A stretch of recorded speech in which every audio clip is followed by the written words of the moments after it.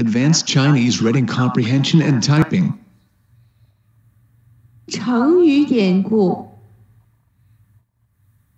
Idioms. 成语“爱屋及乌”解释：因为爱一个人而连带爱他屋上的乌鸦。 比喻爱一个人而连带的关心到与他有关的人或物。成语故事：商朝末年，纣王穷奢极欲、残暴无道。西方诸侯国的首领姬昌决心推翻商朝统治，积极练兵备战。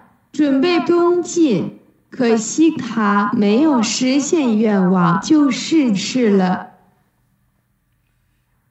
姬昌死后，他儿子姬发继位称王，世称周武王。周武王在军师江上，太公及弟弟姬曰、周公、姬氏、赵公。的辅佐下，联合诸侯出兵讨伐纣王。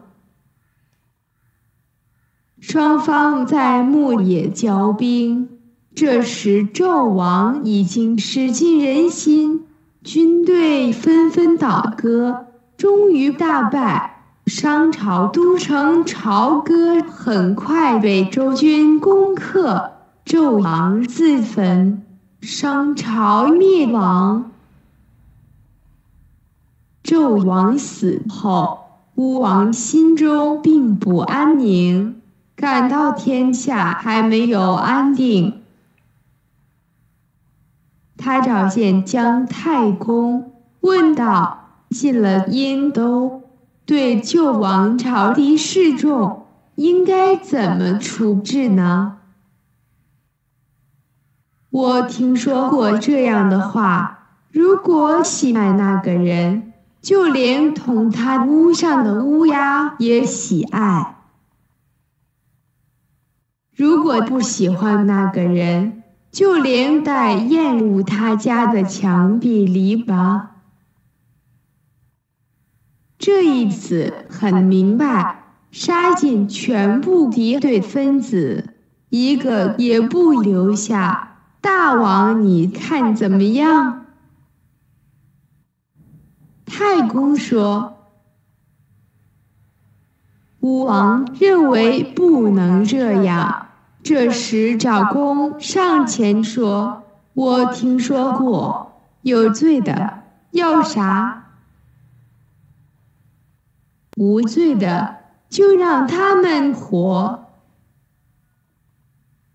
应当把有罪的人都杀死，不让他们留下残余力量。大王，你看怎么样？巫王认为也不行。